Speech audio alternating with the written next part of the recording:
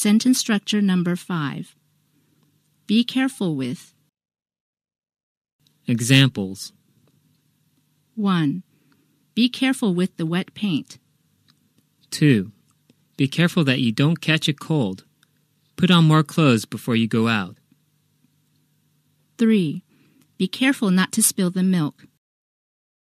Be careful with means giving a lot of attention to what you're doing so that you do not have an accident or make a mistake or damage something. For example, be careful with the glasses. Be careful with the wet paint. Be careful that you don't catch a cold. Uh, put on more clothes before you go out. Be careful not to spill the milk. Dialogue. She has been calling me for several days now. I think she's interested in me. Are you sure? I think she's already has a boyfriend. How do you know? A friend of hers told me. I'd be careful if I were you, Why? because I heard her boyfriend is a weightlifter. Wow.